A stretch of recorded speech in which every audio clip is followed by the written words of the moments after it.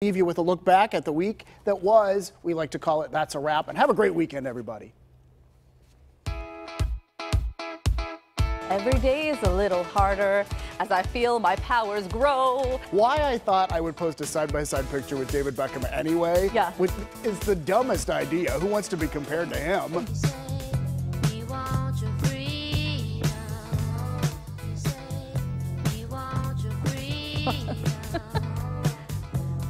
Part right here is my favorite. Watch his face.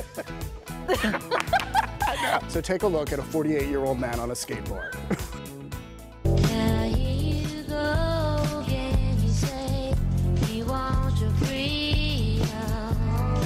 He's pulling me in the driveway on the skateboard, and then our neighbor Steven comes out.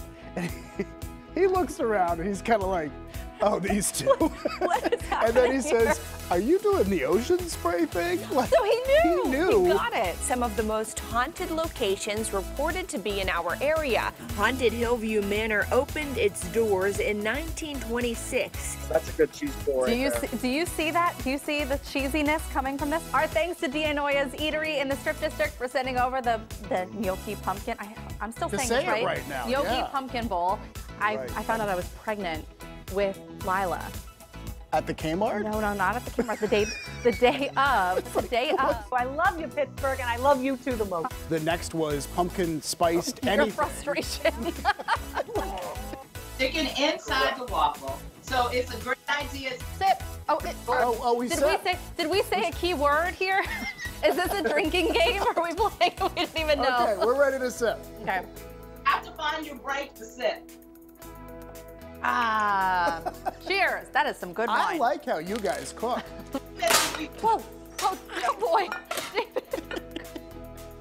Can you tell I'm a pro in the kitchen? you startled me. I reach in here. It- oh, this is this isn't alive, is it? Is it alive? Ah! oh, it feels like a like a lizard or a snake. Ah!